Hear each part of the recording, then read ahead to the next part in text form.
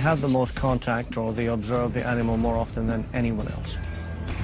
The villagers, known as the Baka, are eager to talk to the Westerners about the creature.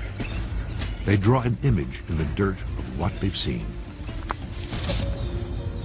Look at that, Bill.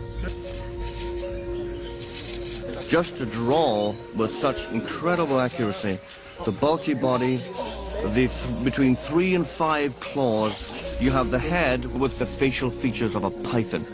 The locals have virtually no contact with the outside world. And what's so amazing about this is these people have nothing whatsoever to gain from telling stories because we don't pay them. They get no reward from us for doing this. To help clarify their descriptions, Bill Gibbons has brought along a set of pictures. These will help determine if they are able to tell the difference between an elephant and a dinosaur. They live in the forest, so uh, uh, they, they, they, they, they, can, they can easily see, find the difference between Mokele-mbembe and another type of animal. While Gibbons flips the pages, their guide translates. They don't know a bear or deer, but when Gibbons flips the pages to the drawing of a dinosaur, eyes open and fingers point.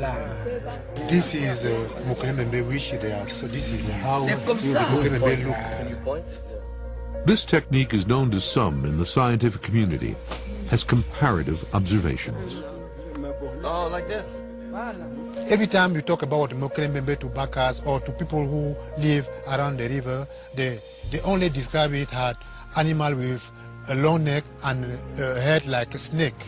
This convinces Gibbons that the sightings are not a case of misidentification. But we've come to the conclusion that this is definitely a different, unique animal in its own right.